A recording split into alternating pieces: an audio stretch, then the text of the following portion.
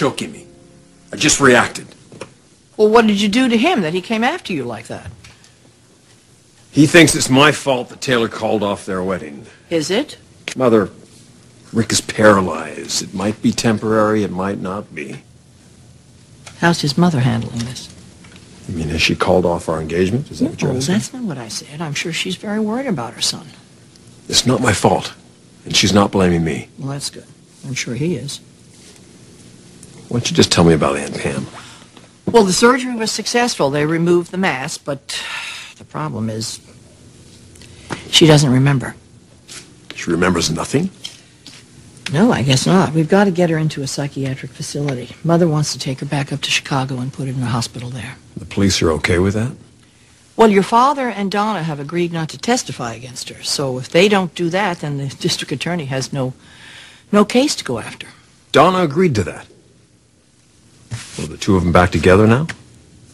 Your father hasn't said anything to me about calling off their divorce. You haven't given up hope? I actually wasn't thinking of myself at that moment. Rick thinks that you're responsible for Taylor not marrying him. But it's because she wants you back. Isn't it? Yes. Hallelujah.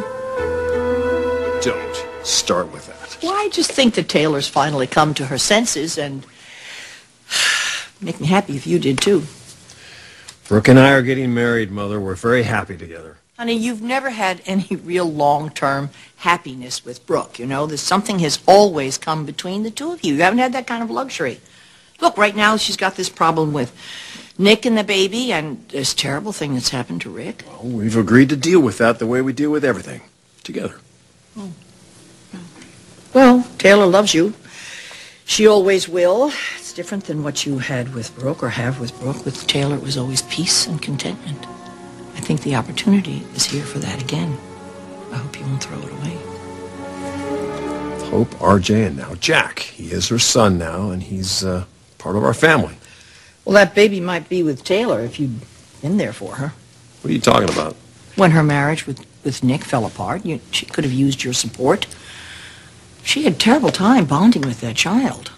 Did she tell you about that? No, Mother, she wasn't reaching out to me then. Well, I think Taylor loves you. You look me in the eye and you tell me that there are no feelings left between you and Taylor. You going to answer me? Yes, I still love her. I can't deny that. We have three children together and a lot of wonderful years. Yes, but you could have a whole lifetime, the rest of your lives together. I mean, she made you happy. So does Brooke. Yeah, it's not the same. Oh, you know that better than I do? Well, I understand that overcoming challenges for you is very satisfying. So safe to say, Brooke has given you a lot of satisfaction. Taylor, on the other hand, you had peace and fulfillment. Mother, we had wonderful years together, but that was a long, long time ago. And Brooke made uh, good use of her absence, that's safe to say. Uh, she did help you pick up the pieces of your life, and she has given you something wonderful, your son. But that's why you've stayed with her, isn't it? Brooke and I are very committed to the future together that we want.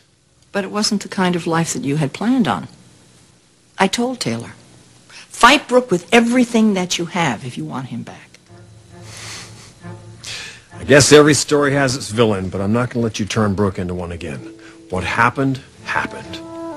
There's no undoing it now. I don't know. Taylor loves you. She always will. If you got back together with her, you'd have your family. And you could have a life, the kind of life that you really deserve.